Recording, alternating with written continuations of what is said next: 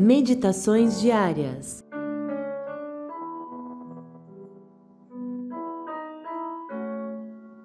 Como convite à nossa reflexão desse dia, lemos no Antigo Testamento, em Êxodo 15, 2. O Senhor é a minha força e o meu cântico, ele se tornou a minha salvação.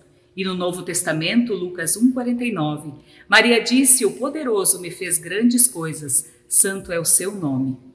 Louvar e engrandecer o nome de Deus. O cântico de Moisés e de Maria expressam honra ao nome de Deus diante de situações de suas vidas. Alegria pela libertação e alegria pelo anúncio de acolher a escolha para ser a mãe do Salvador.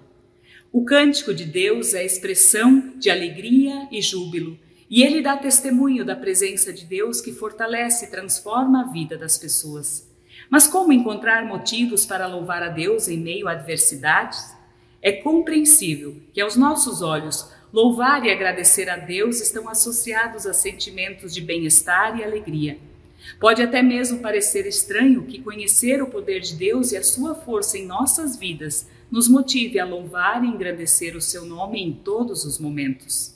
Muito mais fácil seria dizermos apenas que Deus nos esqueceu ou que não ouviu o nosso clamor. Louvar o nome de Deus em todas as circunstâncias é confessar que Ele é Senhor sobre todos e sobre tudo, também sobre aquilo que não podemos compreender.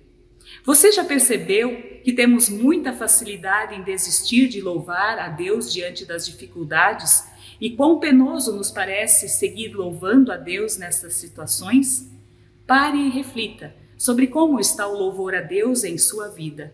Engrandecer e louvar o nome de Deus fortalecerá a fé e a confiança na promessa de Deus conosco sempre. Há sempre motivos para que seu nome seja exaltado.